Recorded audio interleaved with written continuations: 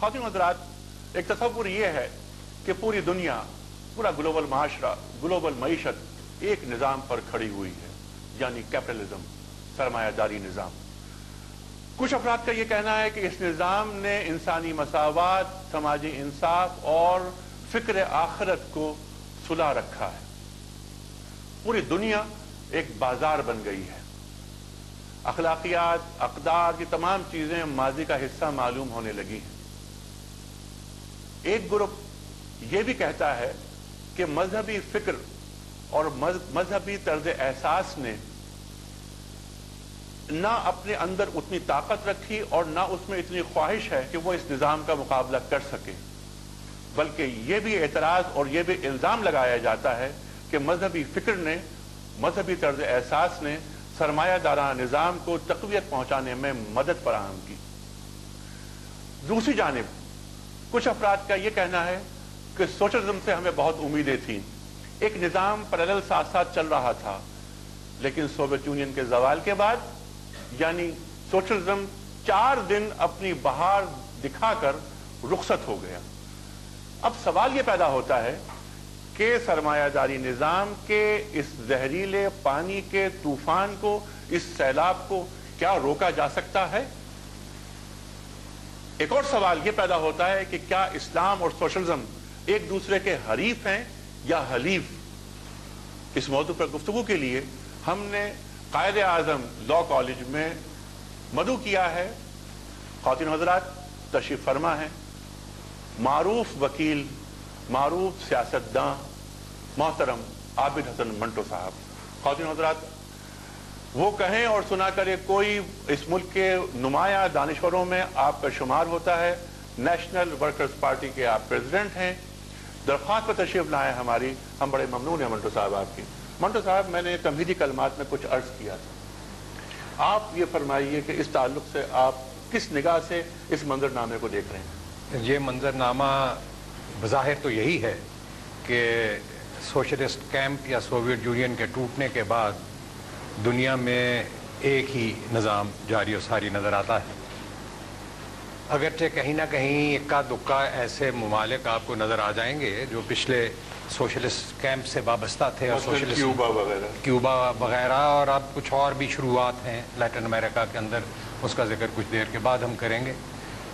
लेकिन जनरली दुनिया के ऊपर एक ही निज़ाम का गलबा है और वो कैपिटलिस्ट सिस्टम है, मार्केट इकॉनमी है, मंडी की मीशत उसको कहते हैं, और उसकी ताज़ा तरीन जो तशरी है, वो ग्लोबलाइजेशन के फिनमिने से होती है कि सारे दुनिया को वो अपनी गिरफ्त में लेना चाहता है और अपनी सारी दुनिया को अपनी मंडी बनाना चाहता है। ये तो है, लेकिन इन 10-15 सालों के दौरान, यानी कि सोशलिज्म के कैंप के टूटने के बाद, जो तफावत अमीर और गरीब मुल्कों के दरमियान और अमीर मुल्कों के अंदर अमीर और गरीब लोगों के दरमियान और बिलखसूस तीसरी दुनिया और पहली दुनिया के दरमियान जिस किस्म का फ़र्क पैदा हुआ है और वो पैदा ही होता चला जा रहा है, वो कहीं थमता नहीं है।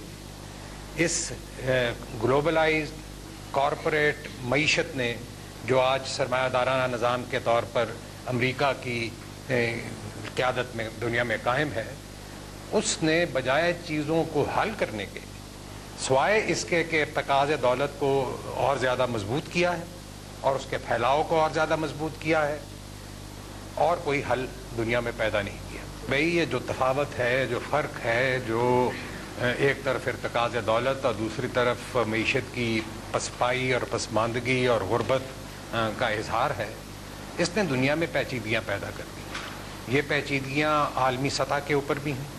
ये पेचीदगियाँ हर मुल्क के अंदर भी मौजूद हैं। हती कि दुनिया के सबसे ज़्यादा तरक्की याफ्ता मुल्क जिसको अमरीका कहते हैं, उसमें एक तूफ़ान आता है जिसका नाम कटरीना है। तो उसके आने के बाद ये मालूम हुआ कि भाई यहाँ तो इतने तीन चार सौ साल की तरक्की के बावजूद गोरा गोरा है और काला काला है और यहाँ भी गुर्बत की एक लकीर मौजूद है। तो ये जो सूरत हालात आज दुनिया में मौजूद है, वो बेचैनी और बेकरारी दुनिया भर में पैदा कर रही है। और लोग अपने अपने तई रास्ते असर नौ तलाश करने की कोशिश में हैं। और सोशलिज्म के जो सत्तर साल थे दुनिया भर में, वो उनके तजुर्बात की एक बुनियाद बनती है। ये ज़रूरी नहीं है कि जब दुनिया एक कदम आगे बढ़े और एक अहद के बाद दूसरे अहद में दाखिल हो और अपने मसाइल हल करे तो वो मिनो इन वही काम करे जो पहले हो चुके हैं लेकिन वो उसके तजुर्बात की बुनियाद बनती है और उस पर वो अगले आगे की तरफ़ जाते हैं। और मैं समझता हूँ कि ये अमल आज दुनिया में जारी है। जारी है और सोशलिज्म के इस नाकामी से ज़ाहिर नाकामी से जिसे आप यूँ कह लीजिए आप मायूस नहीं हैं। जी नहीं बिल्कुल भी मायूस नहीं हूँ क्योंकि उससे तो मुझे बहुत से तजुर्बात हुए। कि भाई ये एक मुतबादल निज़ाम कायम करने के रास्ते में क्या क्या पेचीदगियाँ और मुश्किल हैं और वो किस किस्म का होना चाहिए? सत्तर साल ने बहुत सारे तजुर्बात दिए हैं। बजा। अच्छा भट्ट साहब मैंने आगाज़ में एक सवाल ये रखा था कि एक इस्लामी फ़िक्र है मजहबी फ़िक्र है। एक फ़िक्र है सोशलिज्म की। क्या इस्लाम और सोशलिज्म एक दूसरे के हलीफ हैं? जी नहीं मैं समझता हूँ कि कोई मज़हब भी सोशलिज्म का हलीफ नहीं हो सकता। क्योंकि सोशलिज्म तो मारूजी हकीकतों की बुनियाद के ऊपर मीशत को उसवार करने और उसको रीऑर्गेनाइज करने का नाम है। और उसका कोई ताल्लुक इस बात से नहीं कि कोई क्या फेथ रखता है या किस किस्म का अकीदा उसका है। और दुनिया में जहाँ एक इशारिया पच्चीस फ़ीसदी बिलियन मुसलमान रहते हैं तो पाँच बिलियन से ज़्यादा और मज़हबों के लोग भी रहते हैं। तो सोशलिज्म तो अक्रॉस द बॉर्डर जैसे कैपिटलिज्म जो है वो दुनिया के हर मुल्क में जारी और सारी है चाहे वो मुसलमान है चाहे गैर मुस्लिम है तो इससे कोई फ़र्क नहीं पड़ता। यह तो मीशत का निज़ाम है कोई कॉन्फ्लिक्ट इस्लाम में और सोशलिज्म में या सोशलिज्म की जो नई शक्लें पैदा होंगी उनके दरमियान नहीं। है नहीं है। अच्छा कहीं भी आपको करीब महसूस नहीं होता इस्लाम और सोशलिज्म के दरमियान? करीब इस लिहाज से महसूस होता है कि मुसलमानों में बहुत सारे लोग ऐसे मौजूद हैं जो अपनी सोच और अकीदे को और अपने जो जो उनका अपना एक अंडरस्टैंडिंग है उनके निज़ाम की उसको वो ऑर्गेनाइज करना चाहते हैं मारूजी हकीकतों के मुताबिक और वो और वो आ- हकीकतें सोशलिज्म से करीब कर देती हैं उन्हें। मंटो साहब आप ये फरमाइए कि ये जो बात आपने फरमाई है कि सूद की कोई अहमियत नहीं है सरमादार निज़ाम को प्रमोट करने में आपकी क्या राय है? सूद तो उसका नतीजा है सरमायादाराना निज़ाम का। सरमायादाराना निज़ाम की बुनियाद जो है वो तो मुनाफा है और सूद उसका एक हिस्सा बन जाता है, कंपोनेंट बन जाता है, मुनाफा हासिल करने का एक तरीका जो है वो सूद है। इसलिए सूद कोई एसेंस नहीं है सरमायादारी निज़ाम का। मैं, अनीक साहब, ये कहना चाहता हूँ कि हम जहाँ जिस मुल्क में इस वक्त हम बैठे हैं और जिस दुनिया के हिस्से में हम बैठे हैं, यानी साउथ एशिया में एशिया में, तीसरी दुनिया में, पाकिस्तान के शहरी की हैसियत से वहाँ सवालात अभी एक डेवलप्ड कैपिटलिस्ट सिस्टम को रिप्लेस करने के हैं ही नहीं। यहाँ है नहीं कैपिटलिस्ट सिस्टम उस पैमाने का जिसको आ, जिसकी रिप्लेसमेंट आप मांग रहे हैं। यानी अगर मुझे आप इख्तियार दे दें और मुझे आप सोशलिस्ट मान रहे हैं तो मैं यहाँ पे सोशलिज्म नाफिज नहीं करने वाला वो जो सोवियत यूनियन में हुआ था या जो दुनिया के मुख्य जिसे मार्क्स लेकर आए हाँ हाँ, जो मैं मार्क्स कहते हैं। अगरचे मैं आखिर में वही करना चाहता हूँ। लेकिन आज मैं वो ये नहीं कर सकता, क्योंकि जिस मुल्क में मैं रहता हूँ, वहाँ सत्तर फ़ीसदी आबादी तो फ्यूडल स्ट्रक्चर्स और फ्यूडल सिस्टम के मातहत रहती है।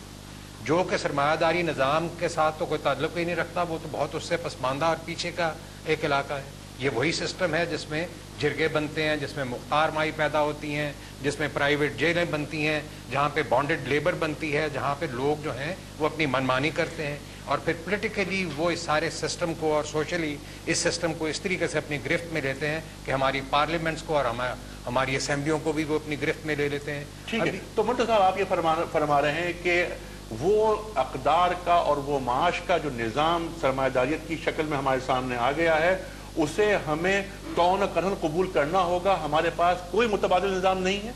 नहीं मैं ये नहीं कहता। मैं ये कह रहा हूँ कि उसे एक हद तक तो कबूल करना ही है। इसलिए कि डेवलपमेंट ऑफ़ इंडस्ट्री जो प्रोग्रेस की की बुनियाद है डेवलपमेंट ऑफ़ टेक्नोलॉजी जो प्रोग्रेस की बुनियाद है साइंस की डेवलपमेंट जो प्रोग्रेस की बुनियाद है, वो तो बगैर इन्वेस्टमेंट के मुमकिन नहीं है। और तीसरी दुनिया का कोई मुल्क अपने रिसोर्सेज से वो इन्वेस्टमेंट आज उस तरीके से नहीं कर सकता।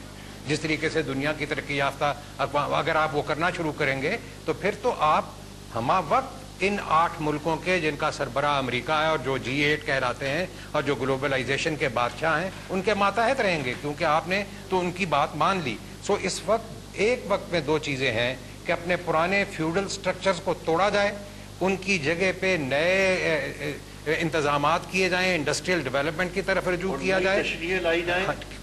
ताबीरें लाई जाए जो लाई जाएँ और फिर जो तीसरी दुनिया के ममालिक हैं जैसे इन्होंने मलाइशिया किया है कहा है बराबर में हिंदुस्तान मौजूद है, इधर ईरान मौजूद है, और फिर कई और दुनिया के ममालिक इस वक्त मौजूद हैं, जिनके पास रिसोर्सेज हैं, जिनके पास टेक्नोलॉजी का एक सतह किसी न किसी किस्म की मौजूद है, जिनके साथ हमारे रिश्ते जुड़ सकते हैं और जुड़ने, जुड़ रहे हैं। आप देख रहे हैं कि खुद ब खुद लोगों को ज़रूरत पड़ रही है और वो जोड़ते चले जा रहे हैं।